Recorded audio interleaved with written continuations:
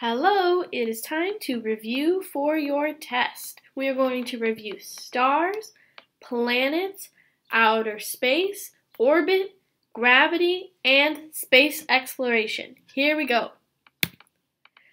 What is a star?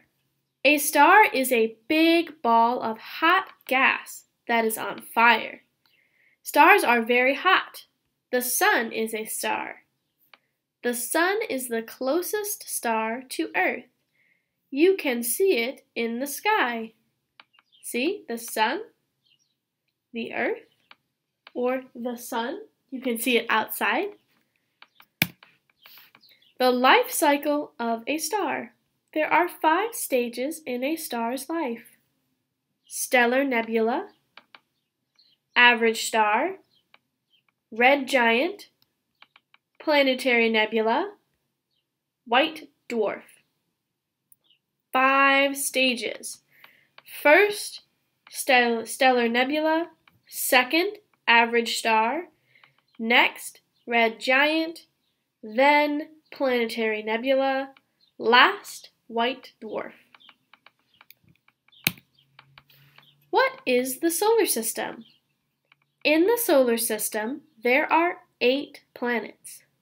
The definition of a planet is a large, round object in space that travels around a star. Here we see the planets. Remember, they are going around the star. They orbit the sun. Around. The eight planets in the solar system. There are eight planets. Let's look at their names. Mercury, Venus, Earth, Mars, Jupiter, Saturn, Uranus, Neptune. The planets that are very close to the sun are hot, and the planets far away from the sun are so cold. Mercury and Venus are hot. Uranus and Neptune, so cold. They have lots of ice. The eight moon phases.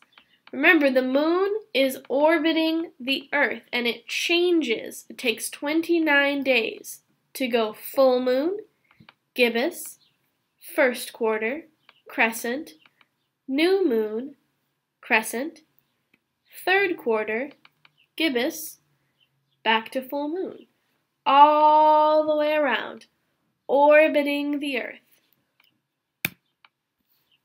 Who are astronauts?